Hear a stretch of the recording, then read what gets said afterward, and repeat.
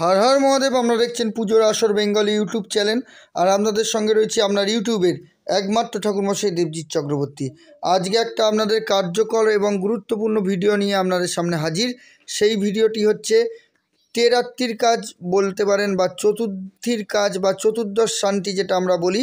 অর্থাৎ কোনো একটি বিবাহিত নারী তার মাতা পিতা যদি মারা যায়, তাহলে যে চতুর্থীর কাজটি করতে সেই চতুর্থীর কাজ একদম প্রত্যেকটা স্টেপ আপনাদের বলব মানে চতুর্থীর কাজে গিয়ে পরপর কোন কাজগুলি করবেন, কি কি গুছাবেন, কীভাবে পুরো কাজটি সম্পূর্ণ করবেন, কোন কোন কাজগুলো করলে আপনার চতুর্দশ শান্তি কাজ সম্পূর্ণভাবে সুস্থভাবে সুন্দরভাবে হবে। তাহলে আজকের ভিডিওটা গুরুত্বপূর্ণ সবার জন্য।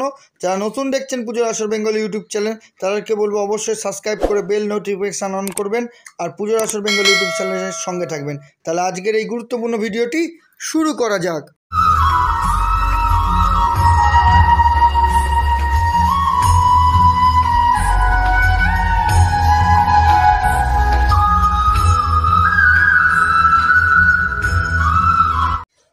তাহলে কোনো চতুর্দশ শান্তি সাধ্য বাসরে গিয়ে প্রথম থেকে আপনি যে কর্মগুলি করবেন সেগুলো আমাদের বলব। প্রথমে যেটা আমাদের গুরুত্বপূর্ণ কর্ম, গোছানো। আপনি না গুছিয়ে কাজ করতে পারবেন না। তাহলে প্রথমে আপনাকে যেই গুছাতে হবে সেটা হলো আপনার একটি কলার পেটো। এটা আমার, পুরো আমার পদ্ধতিতে আমি সাজাই। আমি যেভাবে শিখেছি সেইভাবেই আপনাদেরকে সাজাই।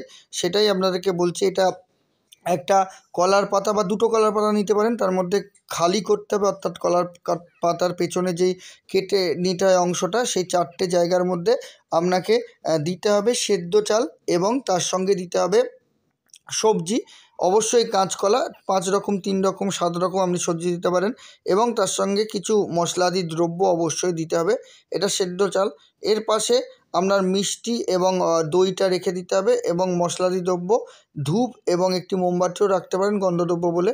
আর একটা কলার পেটের মধ্যে সাজাতে হবে তার মধ্যে দিতে হবে আতক চাল যেমন যেটা আপনারা দেখতে পাচ্ছেন এখন।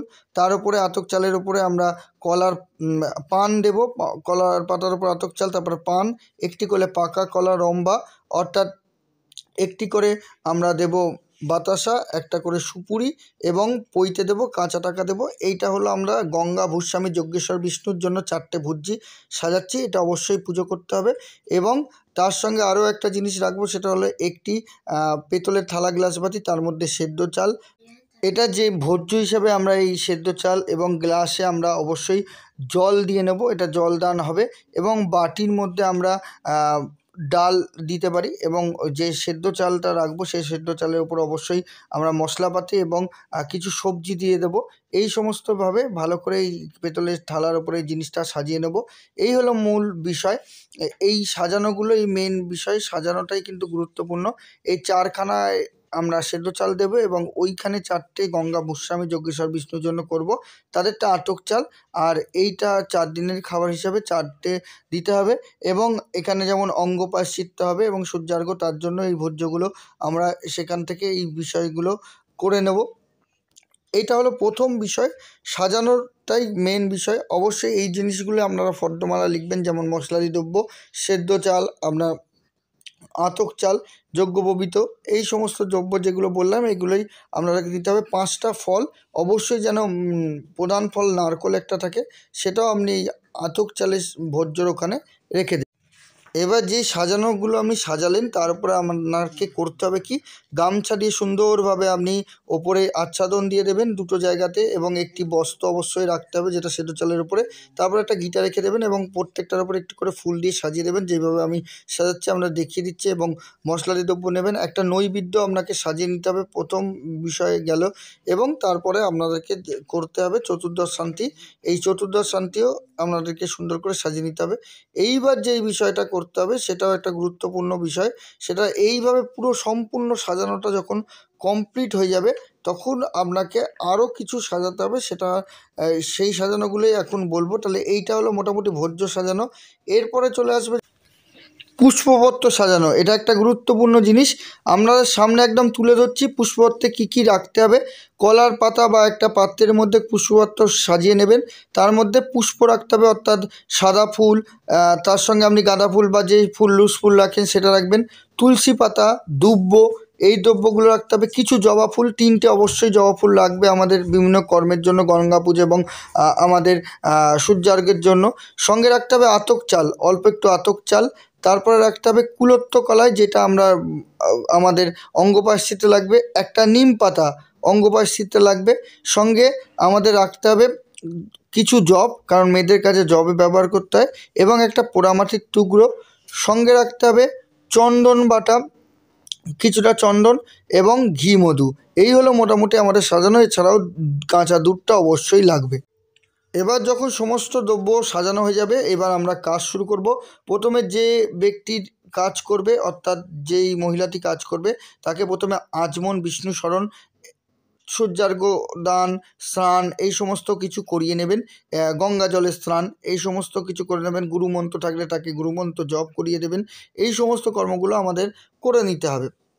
অবশ্যই ধূপ, প্রদীপ, নৈবেদ্য এইগুলো আপনারা সাজিয়ে নেবেন এবং প্রথম কর্ম প্রাথমিক ক্রিয়া এইগুলো পুষ্পশুদ্ধি, ভূমিশুদ্ধি, দেহশুদ্ধি আসন শুদ্ধি এইগুলো করিয়ে নেবেন এবং তারপরেই যে কাজটি করতে হবে সূর্যার্ঘর পরে সেটা হলো গুরুত্বপূর্ণ একটি কাজ যাকে বলছি আমরা চতুর্দশ শান্তি। চারটে পেটো সাজিয়ে প্রথমে পেটোতে একটু জল দিয়ে তারপরে পেটোয় সেই মন্ত্র পড়ে। এই চতুর্দশ শান্তি প্রত্যেকটা সুন্দরভাবে আপনারা চতুর্দশ শান্তি হলো তাহলে প্রথম কর্ম চতুর্দশ শান্তির পরে এই জলটা ঘরে ধরে একটু ছিটিয়ে দিতে হবে প্রাথমিক শান্তির জন্য। তাহলে তেরাত্রির কাছে অর্থাৎ চতুর্দশ শান্তির কাছে প্রথম স্তর হলো আমাদের এই কর্মটি, অর্থাৎ চতুর্দশ শান্তি। চতুর্দশ শান্তি করার পর করতে হবে অঙ্গপাশ্চিত এবং তারপরে যেই কাজটি করতে হবে সেটাকে তিলক ধারণ বলে। সেই তিলক ধারণ আপনি সুন্দরভাবে তিলক ধারণটি প্রত্যেকটি অঙ্গে মন্ত্র পাঠ করিয়ে তিলক ধারণটি করে দেবেন। তারপরে আপনাদের পরের কর্ম করতে হবে। তাহলে তিলক ধারণটাও একটি মেন বিষয় এই কর্মের জন্য। তিলক ধারণ হয়ে গেল, এরপরে যেই কর্মটি করতে হবে সেটা হলো দান। অর্থাৎ ভোজ্য দান করতে হবে। অন্ন, জল, বস্ত্র এই তিনটে দান আপনি করতে পারবেন। তাই অন্ন, জল, বস্ত্র এক এক করে আপনি দান করাবেন। প্রথমে অন্ন, তারপর জল, তারপরে বস্ত্র এগুলো দান করানো হবে। এবং তারপরে যে কর্মটি করতে হবে সেটা হলো গঙ্গা, যজ্ঞেশ্বর, বিষ্ণু বা আমাদের ভূস্বামী পৃথিব্য গঙ্গা দেবী, সেইগুলো পুজো করতে হবে। অর্থাৎ প্রথমে বাস্তুদেবের পুজো, পঞ্চপ্রচারে করতে পারেন। বাস্তুদেবের পুজো গণ্ড পুষ্প, ধূপ, দীপ, নৈবেদ্য। তারপরে বাস্তু পুজোর পরে আমাদের চলে যেতে হবে যজ্ঞেশ্বর, বিষ্ণু পুজো, সেটাও পঞ্চপ্রচারে। এবং তারপরে আমাদের গঙ্গা দেবীর পুজো, সেটাও পঞ্চপ্রচারে এবং সর্বশেষে ভূস্বামীর পুজোটিও আপনারা করবেন পঞ্চপ্রচারে। এইগুলো করার পর আমাদের যে কর্মটি চলে যেতে হবে সেটাও একটি গুরুত্বপূর্ণ কর্ম। সেটা হলো আদ্যসাধ্যের কিছু একটু অংশ এখানে করতে হয়। সেটা হলো আদ্যসাধ্যে যে আমরা গন্ধদান করাতে করি, সেই গন্ধদানটি অবশ্যই করাবেন। গন্ধদান অর্থাৎ একটা কাপড়ের মধ্যে একটি ধূপকাঠি দিয়ে যেটা এখন আপনারা দেখতে পাচ্ছেন, সেই গন্ধদান কর্মটি এখানে পুরোপুরি করাবেন। তারপরে পুরো ছবির সামনে তিনবার ঘুরিয়ে দিতে হয়, যেটা আমরা করেওছি। আশা করি আমার ভিডিও যারা দেখেন তারা আগেও দেখেছেন। তাহলে এই কর্মটি করাবেন এবং এরপরে আরও কিছু আপনি করাতে পারেন। জলদান কর্মটি একটি পেটোর মধ্যে মন্ত্র পড়ে জলদান এই কর্মটি করাতে পারেন এবং তারপরে আপনি মাতৃস্তব বা পিতৃস্তব যার জন্য কাজটি করছে, সেইটি পাঠ করাবেন এবং বৈগুণ্য সমাধান আপনি করাবেন। বৈগুণ্য সমাধানের পর আপনি ক্ষমা প্রার্থনা করাবেন এবং শান্তির জল, শান্তি কর্মটি করাবেন। এই করলেই কিন্তু আপনার পুরোপুরি চতুর্দশ কান, শান্তি কর্মটি একটি বাড়িতে গিয়ে সম্পূর্ণভাবে হয়ে যাবে। খুব একটা বেশি সময়ের কাজ নয়, কিন্তু এই স্টেপগুলো যদি মানেন, তাহলে কিন্তু সুন্দরভাবে চতুর্দশ শান্তি আপনি অবশ্যই আপনার কাজে সুফল হবে এবং আপনার কাজটা সম্পূর্ণ হবে, সুন্দরভাবে কাজটি হবে। তাই আমার কথা শুনে যদি আপনারা করেন, তাহলে এই কাজগুলো করবেন। আজকের ভিডিও এইটুকুই। যদি আজকের ভিডিও একটু কাজে লেগে থাকে, তাহলে অবশ্যই ভিডিওটি লাইক করে দেবেন একটা। সাবস্ক্রাইব না করা থাকলে সাবস্ক্রাইব করে বেল নোটিফিকেশন অন করবেন। কারণ পুজোর আসর বেঙ্গল ইউটিউব চ্যানেল আপনার সঙ্গে, আপনার পাশে সবসময় আছে। পুজো আর্চার মধ্যে থাকবেন এবং সুস্থ থাকবেন পরিবারকে সুস্থ রাখবেন। সবাই ভালো থাকবেন নমস্কার।